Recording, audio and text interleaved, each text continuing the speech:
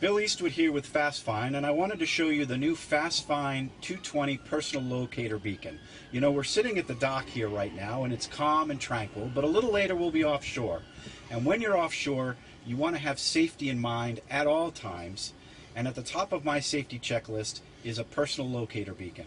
Not only does your FastFind 220 work out in the middle of the ocean, anywhere on the ocean, it works worldwide. So if you're a hiker, biker, triker, a mountain climber, or skier, your FastFind 20 will come to your aid by alerting search and rescue agencies worldwide.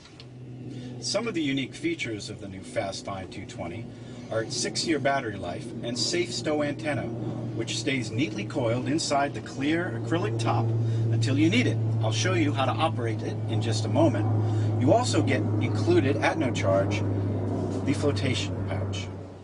To activate the FastFind 220, lift the red tab pull hard to break the seal and remove the cap, uncoil the antenna, press the on button, and within minutes, help is on its way. So there you have it, the FastFind 220.